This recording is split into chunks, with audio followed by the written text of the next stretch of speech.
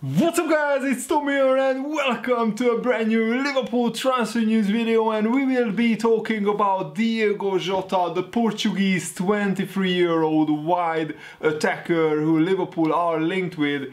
And Diego Jota is producing similar numbers to what Sadio Mane was doing before Sadio Mane signed for Liverpool. Jota scored 15 goals already this season, he has 10 goals last season and then before that he scored 18 goals in the championship for Wolves and Mane scored 21 goals in the two seasons at Southampton before he signed for Liverpool. And Jota is a fantastic player. I'm not sure what his price tag would be but let me know guys do you want Liverpool to sign Diego Jota? Do you think that we need a very very good backup player for uh, the likes of Mane and Salah. And remember that both Mane and Salah will miss about one and a half maybe even two months of the next season um, because of the Africa Cup of Nations. And Jota would come with a big premium because Premier League players who are doing really well usually tend to get uh, overpriced a little bit but I still think that Diego Jota would be great value for money. As I said he's only 23 years old and we will take a look at what he could bring to Liverpool. And I, uh, Diego Jota already endeared himself or, or earn the respect of Liverpool fans by saying that Liverpool deserve to be handed the Premier League title no matter what happens this summer. Even if the Premier League season can't be finished Liverpool should get the Premier League title. So let me know guys uh, do you want Diego Jota at Anfield next season or the season after next season? He still has a long career ahead of him and I think Liverpool are looking at these kind of players who in the long term could replace Mane or Salah but in the medium to the short to medium term Diego Jota and players like Timo Werner could could play uh, backups to the likes of Firmino or Mane. And in two or three years uh, when Mane or Firmino or Salah will leave Liverpool then these players would be already ready waiting in the wings to really contribute massively. And the similarities to Mane and Jota, are, the similarities between Mane and Jota are very interesting. Mane scored 21 goals and 13 assists in the two seasons before he signed for Liverpool and Diogo Jota has 25 goals and the exact same amount of assists, 13 assists by uh, scoring these amount of goals and assists uh, for Wolves who are a very very good team and I think Wolves are trying to break into the top four uh, even this season and of course the next seasons to come. So it will be very hard to prize Diego Jota away, but Diego Jota himself said that he wants to play for a big club one day and I think that uh, because of the similarities it would be very easy to just replace uh, Jota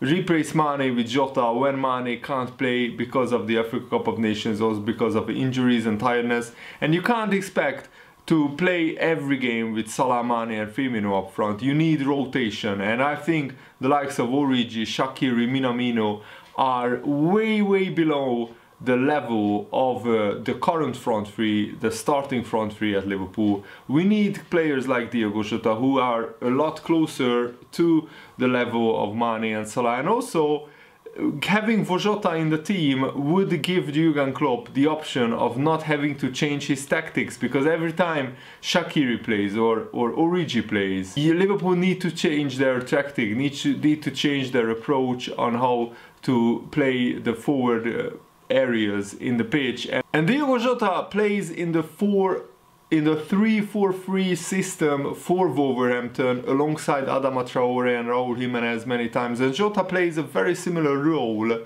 to, on the left side of uh, Wolves attack to Sadio Mane. Attacking involvement from the wingbacks allows Jota to adopt a more inverted position that creates goal scoring op opportunities and Jota's 15 goals in all competition this season sees him as Wolves' second top scorer behind of course uh, Raul Jimenez who is the main man, the center forward at, at Wolves and of course Mane has 18 goals this season so he has a slightly better goal return but Mane is right now I think a more complete player. Diego Jota is still on the development phase, while you could argue that Mane is, is close, very close to his peak. The two players, Jota and Mane, the players that we are comparing right now, they prove to have similar levels of attacking involvement because Jota has taken 2.6 shots per 90 minutes in the league, Mane has 2.3 shots uh, per 90 minutes, but Mane's accuracy is significantly better because uh, 0.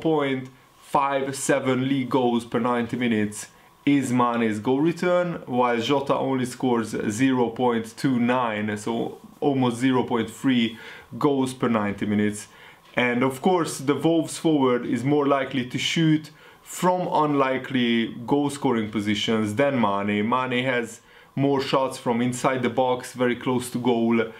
But uh, of course, they have also similarities in playing style. And of course you have to say that Jota probably needs to improve if he wants to get on the level of Mane and if he wants to be a starting player at Liverpool in the next two or three years, but you could say the same with Mane. Mane improved so, so much under Jurgen Klopp. If you see his goal contributions, Mane got better in almost every season, and he's a much better player than when he signed for, for Liverpool. And that also comes with age and experience, but it also comes with working with a world-class manager like Jurgen Klopp. So I think that Jota, if he were to sign for Liverpool, would take a similar route in improving his performances and improving his goal return. And Jota could easily turn into a 20 goal a season wide player, wide attacker, just like Mane turned out to be. And both Jota and Mane have a fairly high, highly uh, like passes, uh, amount of passes in the final third.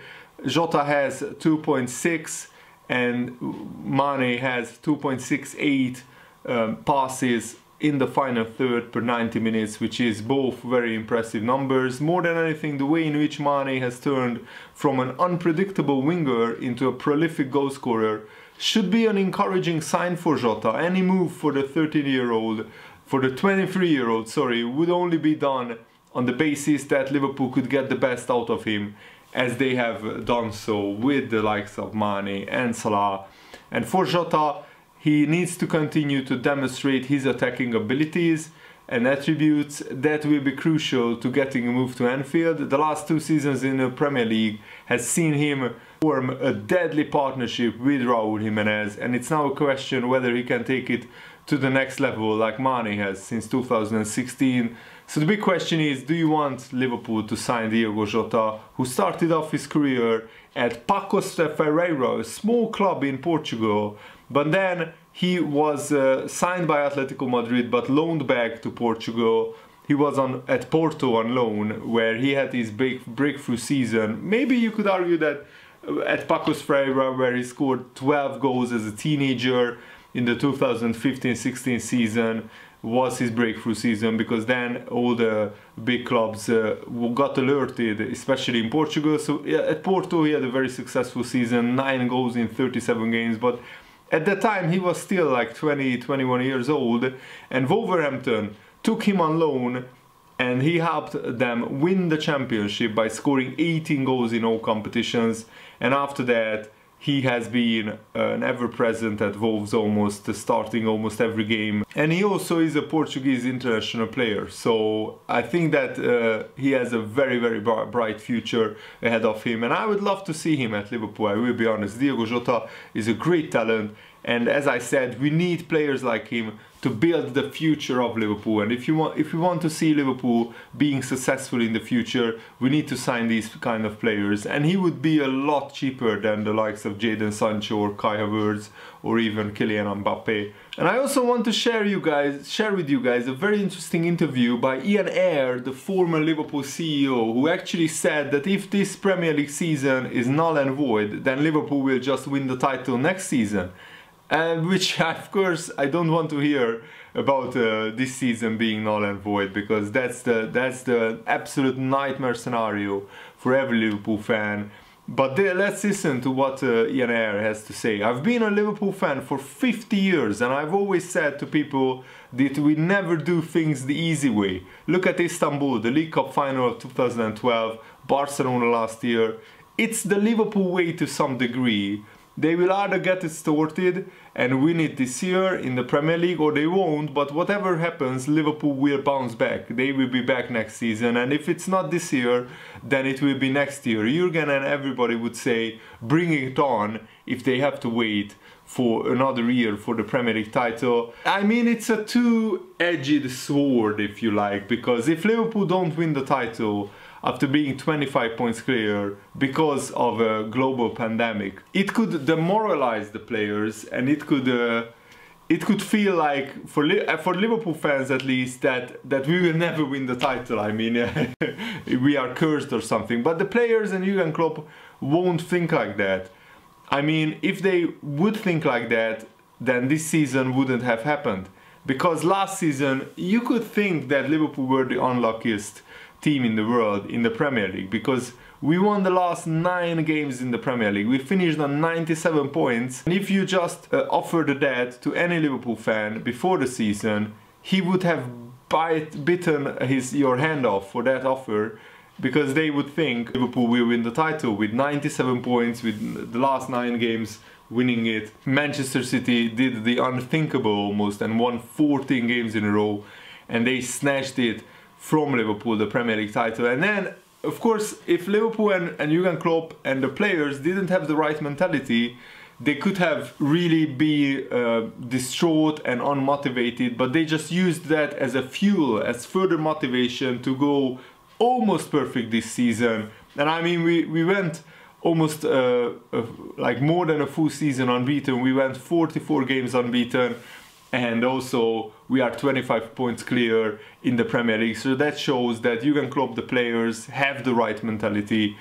So I have no doubt that even if this season is null and void, Liverpool will be coming back fighting next season. But I I very very highly doubt that the, all the Premier League clubs would uh, would uh, accept a scenario like that because most clubs would have to pay back tens of millions of pounds pounds to TV broadcasters, especially Sky Sports, BT Sport, and all the other TV companies uh, from foreign countries as well.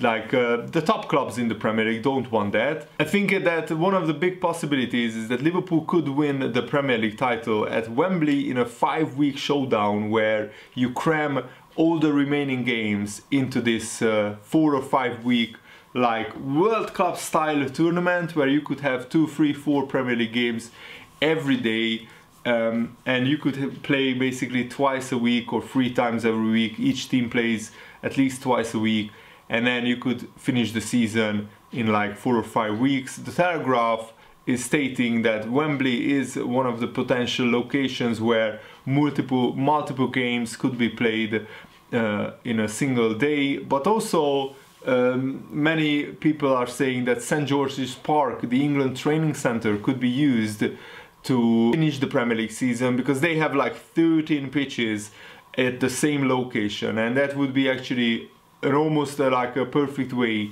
to finish the Premier League season. Can you imagine how fun it would be?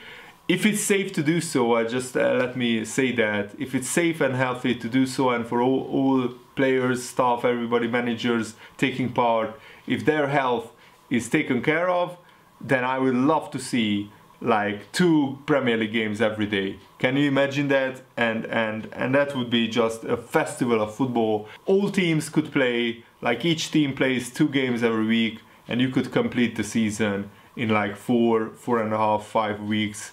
That would be just amazing. And there is already talks of the Bundesliga and some clubs are already training behind closed doors and there is talk that the Bundesliga could restart in as early as May which I think is a little bit too early, it's a little bit too optimistic, but of course the Germans already have these meticulously crafted plans on how they want to do things because that's just the German mentality, German way of thinking. I think England, the the the health issue is still not at the peak, so we, we still can't predict when the Premier League could restart. But I'm hoping June, July, at the least August and if you can finish this season by August and start next season by September then not too many disruptions would be to next season's football calendar but I think finishing this season is the most important and uh, that's what the Premier League wants that's what UEFA wants that each league finishes its season. Paul Merson is writing a column in the Daily Star newspaper and he said this, which is I think very interesting. Paul Merson is a pundit and former Arsenal player. Um, and he's pundit for Sky Sports. This is what he said. If Liverpool weren't 25 points clear, the season would have been called off by now they would have said, I'll see you in August for the next one, for next season. I don't want it to be scrapped because I want Liverpool to win the league properly. They have been waiting 30 years. You could just give them the title, but it's not the same. I can see why they are all desperate to finish the season properly, but you have to ask how realistic that is. How late can you push back the start of the next season? How much of a rest do you do the players get in between? They all risk major burnout by the time the Euros finally comes around the next summer because it's just too much football. The fairest way to finish would be to try and come back for two or three games. That would be absolute cup finals for the teams with something left to play for. Give Liverpool a chance to win the title, give the teams at the bottom a chance to stay up and the teams chasing the Champions League uh, a, a chance to clinch it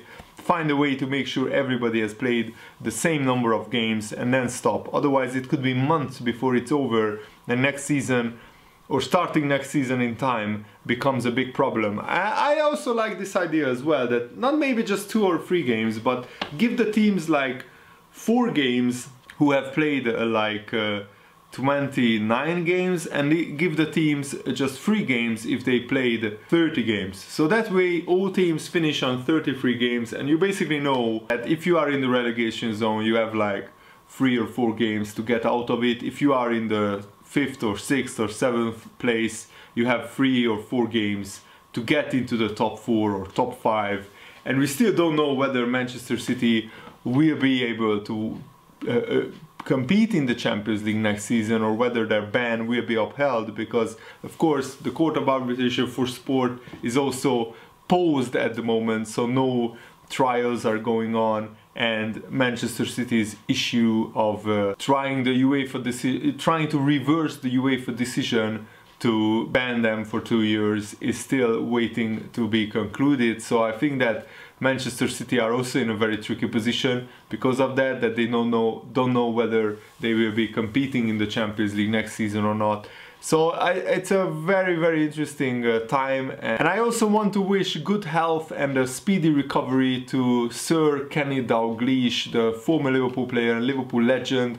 Probably the best or the second best Liverpool player to ever wear that famous red shirt. He was diagnosed positive not too long ago and he was in hospital because of a different issue but thankfully he's he has been now discharged from the hospital and he is at home recovering so I wish him well. I wish him a speedy recovery. He's one of my uh, favorite former Liverpool players. I, I read his uh, book uh, books and also I was already a Liverpool fan when he became the Liverpool manager for the second time. And it was a really really fun time where Liverpool won the League Cup and and got to the FA Cup final as well. So I, I hold him in very very high regard and I wish him all the best. I wish him a speedy recovery. And this is what Sir Kenny Dalglish said to the Liverpool supporters, thank, thank you for all your well wishes over the last few days. I'm delighted to be back home with the family after receiving brilliant care from the NHS,